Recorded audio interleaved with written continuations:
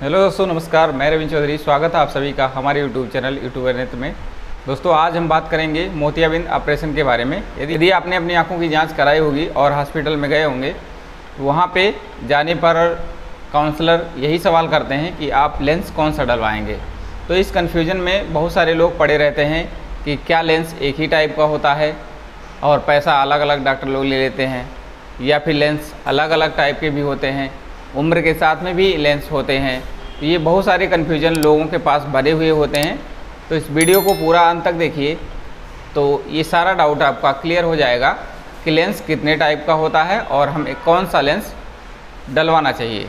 तो चलिए शुरू करते हैं। तो सबसे पहली बात है दोस्तों कि लेंस की कई सारी कैटेगरी है, कई सारी क्वालिटियाँ हैं। सबसे पहला भ्रम अपने दिमाग से ये निकाल दीजिए कि लेंस एक ही होता है और डॉक्टर लोग अलग अलग पैसा ले लेते हैं। जैसे किसी से पाँच हज़ार लिए, किसी से दस हज़ार, किसी से बीस हज़ार, किसी से चालीस हज़ार तो ये कुछ लोगों के मन में भ्रम होता है कि लेंस एक ही होता है, लेकिन डॉक्टर लोग इधर उधर घुमा करके पैसा ज़्यादा ले लेते हैं। तो ऐसा बिल्कुल भी नहीं है। इस वीडियो में आप अंत तक अगर देखेंगे तो आपको समझ में आ जाएगा कि लेंस की क्या क्वालिटी होती है और क्यों पैसे का चार्ज किया जाता है। तो लेंस की कुछ क्वालिटियाँ हैं, जिसको आपको हम बता रहे हैं, उसके अलग अलग फ़ीचर होंगे।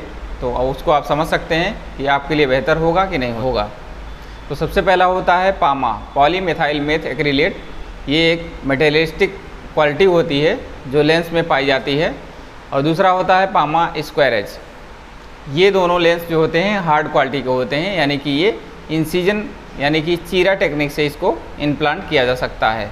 दूसरा होता है हाइड्रोफिलिक फोल्डेबल लेंस होते हैं वो। और अगला होता है हाइड्रोफोबिक तो हाइड्रोफोबिक में भी कई सारी क्वालिटियाँ होती हैं, हाइड्रोफिलिक में भी थोड़े थोड़े फीचर कुछ बढ़ा घटा करके उसमें फीचर डाले जाते हैं, जिसके कारण लेंस का चार्ज अलग अलग हो सकता है और यह चार्ज अलग अलग स्टेट में अलग अलग भी हो सकता है। तो हमने आपको बताया पामा पामा स्क्वायरेज हाइड्रोफिलिक, हाइड्रोफोबिक, चार टाइप के लेंस मुख्यतः आपको बताए। इसमें भी छोटे छोटे फीचर ऐड किए जाते हैं तो कुछ वेरिएशन इसमें भी आ जाता है। तो मैं आपको लेंस दिखा देता हूँ। ये है हमारा पामा स्क्वायरेज लेंस है ये।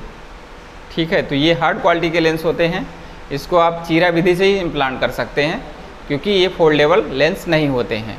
इसके अलावा जो हाइड्रोफिलिक लेंस होते हैं, वो फोल्डेबल आते हैं। जैसे कि ये है हमारा एक्री फोल्ड अप्पा सामी का है एक्री फोल्ड इसमें लिखा हुआ है aspheric optics with 360 square edge hydrophilic ये हाइड्रोफिलिक है बट ये स्क्वायरेज है। इसके आगे आपका है, ये नैनो एस्फेरिक है। इसमें आपको ब्लू ब्लॉक की क्वालिटी मिलेगी। जैसे आप चश्मा बनवाने गए होंगे तो उसमें ब्लू लाइट फ़िल्टर वाले चश्मे भी बनते हैं। उसमें इसी टाइप का है ये हाइड्रोफिलिक की क्वालिटी में ब्लू ब्लॉक का फीचर दिया गया है। तो इसका चार्ज और इसके चार्ज में डिफ्रेंशिएशन ज़रूर आएगा। उसके बाद होता है हाइड्रोफोबिक हाइड्रोफोबिक क्या होते हैं? ये सबसे अच्छा मटेरियल का होता है। तो ये लेंस हमारे हिसाब से किसी भी व्यक्ति को हाइड्रोफोबिक लेंस ही डलवाना चाहिए। उसके कुछ बेनिफिट होते हैं, उसके कुछ फीचर होते हैं। इसको मैं अलग वीडियो में बताऊँगा, उसके क्या क्या फ़ायदे होते हैं और क्यों इस लेंस का हमें चूज़ करना चाहिए।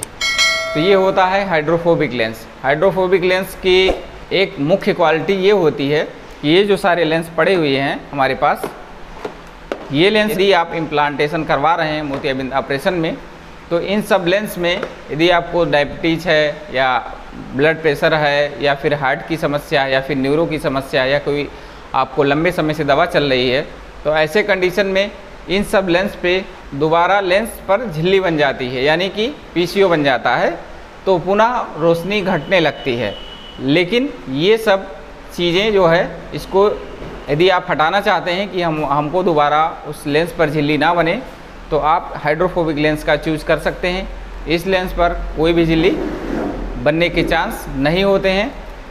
एक आध परसेंट होता है किसी किसी में बन जाता है, लेकिन वह लगभग 99 परसेंट नहीं बनता है। लेकिन इन सब लेंस में क्या होता है कि 99 परसेंट झिल्ली बनने का चांस ज़रूर होता है। चाहे वह एक महीने में हो जाए, चाहे छः महीने, चाहे एक साल, चाहे दो साल, चाहे दस साल। कभी न कभी इसमें झिल्ली आ ही जाती है। लेकिन हाइड्रोफोबिक में ऐसा रिसर्च में पाया गया है कि बहुत कम लोगों में, बहुत रेयर लोगों में झिल्ली बनते हैं। तो अब इसके साथ में आप एज का भी फैक्टर निकाल सकते हैं। ये लेंस कोई भी लेंस आप डलवाएँगे, चाहे पामा हो, चाहे हाइड्रोफोबिक हो तो वो जब तक आपका ज़िंदगी है, तब तक ये लेंस चलते हैं। इसमें कोई समस्या नहीं होती है। बस ये जो आपको हम बीच में क्वालिटी बताए, यही समस्याएँ होती है। इसीलिए लोग पूछते हैं कि ये लेंस की लाइफ कितनी रहेगी, कितना दिन चलेगा। तो यही सब बीच में थोड़ा बहुत अंतर होता है तो इसके लिए मैं इसको रिकमेंड करता हूँ कि हाँ ये हाइड्रोफोबिक लेंस का आप चुनाव करें तो ज़्यादा बेहतर होगा। तो उम्मीद है वीडियो में आपको समझ में आया होगा कि हमें मोतियाबिंद ऑपरेशन कराने के दौरान में किस टाइप के लेंस का चुनाव हमें करना चाहिए, चाहे वह किसी भी कंपनी का हो। तो यदि आपका कोई क्वेश्चन है तो आप कमेंट बॉक्स में कमेंट करके हमसे पूछ सकते हैं कि आपको किस टाइप का लेंस डलवाना है या हमको कोई चीज़ समझ में नहीं आई है। इसी साथ वीडियो को समाप्त करते हैं। धन्यवाद। नमस्कार।